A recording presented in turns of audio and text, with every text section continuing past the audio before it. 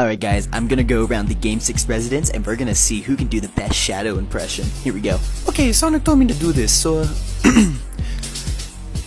Maria, I, I miss you, Maria. I'm the ultimate life form. I'm Shadow, Shadow the Hedgehog. Oh yeah, I forgot.